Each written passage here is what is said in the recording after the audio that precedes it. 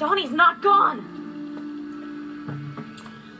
He wasn't really destroyed, just molecularly scattered.